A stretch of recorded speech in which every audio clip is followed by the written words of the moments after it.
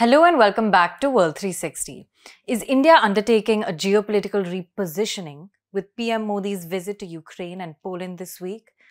The US Secretary of State Antony Blinken makes his last attempt at a ceasefire in the Middle East, but are the odds stacked against him? How is China's economic slowdown spelling trouble for neighboring Australia? We answer these and more in today's episode. So, first up, Prime Minister Modi's visit to Ukraine and Poland.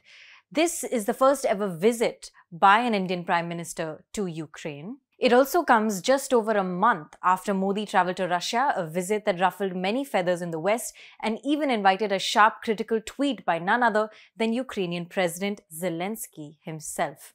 India has always walked a tightrope between the West and Russia, and now this is even more critical after the US and its allies reacted furiously over Modi's trip to Moscow.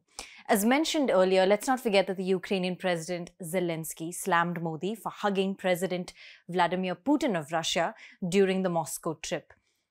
Zelensky called the hug a disappointment and a devastating blow to peace efforts and linked it to a missile that struck a children's hospital in Kiev that very day. Modi's visit to Russia last month had also coincided with the 75th NATO summit in Washington, D.C., where the West sought to shore up more support for Ukraine.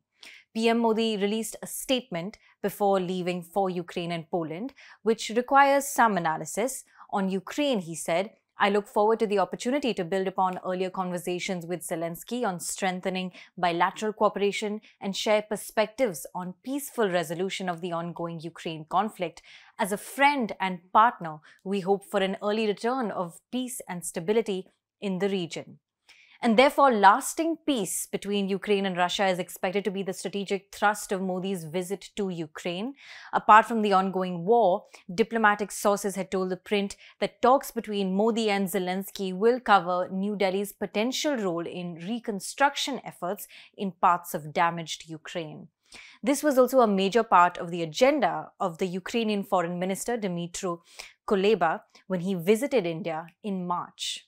In June, India had also attended the Global Peace Summit on the war in Ukraine hosted by Switzerland, though it opted out of the joint communique issued after the meeting. Let's not forget also that the Ukrainian side has been critical of India for its closeness with Moscow amid the war. Ukraine's foreign minister had said in December 2022, just months after the war broke out, that India enjoys the benefit of cheap Russian oil because someone in Ukraine is dying due to Russian aggression. But this year, Ukraine has started to reach out to partners beyond Europe and the West and is seeking engagement with players in Southeast Asia like India and China as it seeks a resolution for peace and as that becomes increasingly necessary.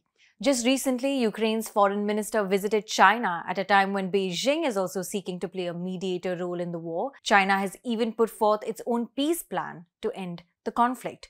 Will India be positioning itself in a similar manner? For now, it's unclear whether India will float a peace plan like China has. So far, Delhi has reiterated that dialogue and diplomacy are the need of the hour and a negotiated settlement that is acceptable to both sides is necessary. The Indian Prime Minister will travel first to Poland from 21st to 22nd August and then to Ukraine on 23rd August. So stay tuned to the print as we track this important visit. For our second topic, we're looking at the Biden administration's last attempt to secure a ceasefire deal amid the Israel Hamas war.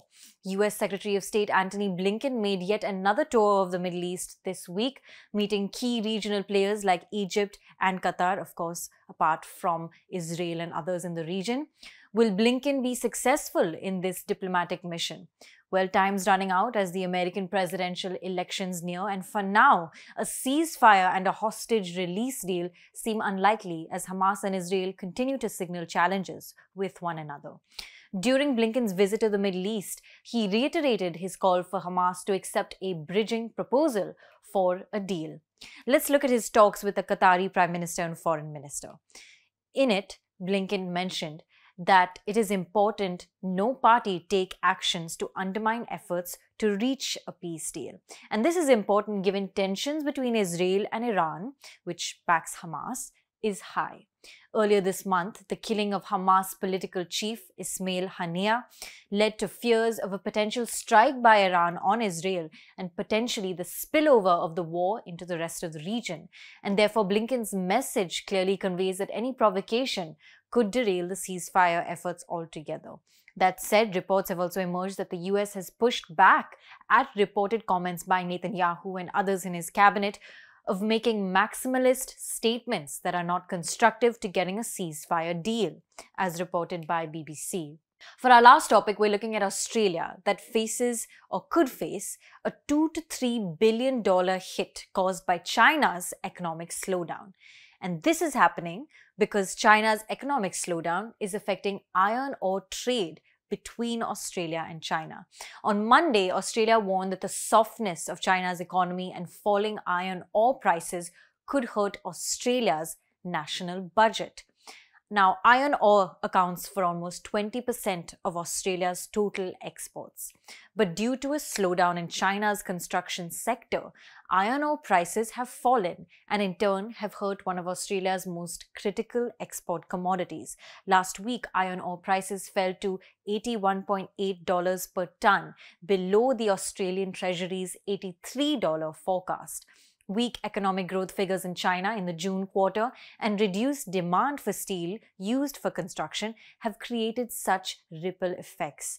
On Sunday, Australia's Treasurer Jim Chalmers said this is exactly why we take such a cautious and conservative approach to Treasury's forecasts for resource prices and revenue. We're following these developments very closely because of their potential impact on our economy and our budget. Now, even back in April this year, Australia's treasurer had warned of lower revenue growth in the federal budget, citing China's economic downturn and the conflict in the Middle East and its ripple effects. We want to align our national security and our economic security interests, he had said. This entire episode has shown just how intertwined China and Australia's economic partnership is. Earlier, we saw how a diplomatic spat between the two countries had hurt this economic relationship. In 2020, back when Scott Morrison was the Australian Prime Minister, China slapped tariffs, sanctions, and informal bans on about $20 billion of Australian goods, including coal, beef, and iron. This came after Scott Morrison called for a public inquiry into the origins of COVID 19.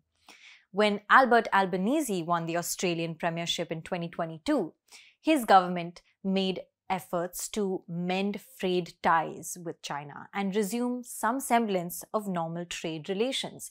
In January, China began lifting most of the tariffs on Australian goods, which was seen as the first of a series of overtures from Beijing.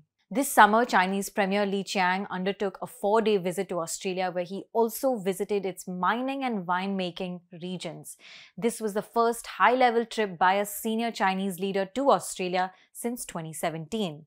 By June this year, Australia's trade with China jumped to record levels, with total trade reaching $145 billion in 2023, the highest ever. But will the new challenges in China's economy spell trouble for Australia, which was just starting to find its economic footing with Beijing? Let's wait and see. Thanks for watching. This is Pia Krishnankutty for The Print.